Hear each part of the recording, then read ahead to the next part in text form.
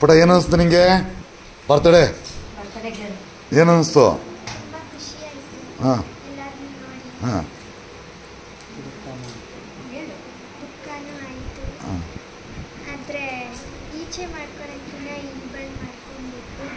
ಊಟ ಮಾಡಿದೆಯಲ್ಲಮ್ಮ ಸ್ವಲ್ಪ ಗಟ್ಟಿ ಮಾತಾಡು. ಹಾಂ.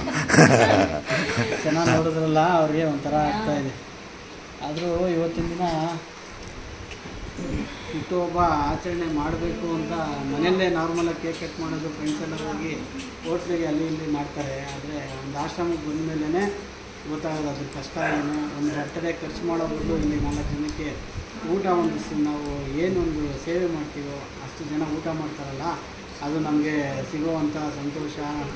ನನ್ನ ಮಕ್ಕಳಿಗೆ ಒಂದು ಒಳ್ಳೆಯದಾಗಲಿ ಇವರೆಲ್ಲ ಆಶೀರ್ವಾದ, ಅವರು, ಅವ್ರ ಮೇಲೆ ಇಲ್ಲಿ ಆದರೂ ಆಶ್ರಮ ಮಾಡೋದು ತುಂಬ ಕಷ್ಟ ಇದೆ. ನಮ್ಮ ಕೈಯಲ್ಲಂತೂ ಮಾಡೋಕ್ಕಾಗಲ್ಲ.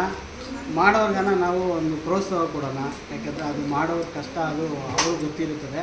ಸುಮ್ಮನೆ ನಾವು ಆಚೆ ನಿಂತ್ಕೊಂಡು ಮಾತಾಡೋದು ಗೊತ್ತಾಗಲ್ಲ. ಈಗ ಬಂದು ನೋಡಿದಾಗಲೇ ಅದು ಕಷ್ಟ ಗೊತ್ತಾಗೋದು ಹೆಂಗೆ ಇವರು ಮಾಡ್ತಾ ಇದ್ದಾರೆ ಅಂತೇಳಿ ಈಗ ನಿಜವಾಗ್ಲೂ ಅಮ್ಮ, ಇವರು ಜಯರಾಜಣ್ಣ ಅದು ಹೆಂಗೆ ಸೇವೆ ಮಾಡ್ತಾ ಇದ್ದಾರೆ ಅಂತ ದೇವ್ರಿಗೆ ಗೊತ್ತು. ಇರಲಿ, ಅವ್ರಿಗೂ ಒಳ್ಳೇದಾಗಲಿ ಇನ್ನೊಂದು ದೇವರು ಅವ್ರಿಗೆ ಆಯುಷ್ಯ ಆರೋಗ್ಯ ಕೊಟ್ಟು ಇನ್ನೂ ಸೇವೆ ಮಾಡುವಂಥ ಶಕ್ತಿ ಕೊಡಲಿ ಅಂತೇಳಿ ಬೇಡ್ಕೊಳ್ತಾರೆ ಥ್ಯಾಂಕ್ ಯು ಥ್ಯಾಂಕ್ ಯು ಖುಷಿ ಆಯಿತಾ? ಖುಷಿ ಆಯಿತು ಸರ್. ಹ್ಞೂ ಥ್ಯಾಂಕ್ ಯು ನೀವೆಲ್ಲ ಬಂದಿದ್ದಕ್ಕೆ ಓಕೆನಾ ಓಕೆ ಥ್ಯಾಂಕ್ ಯು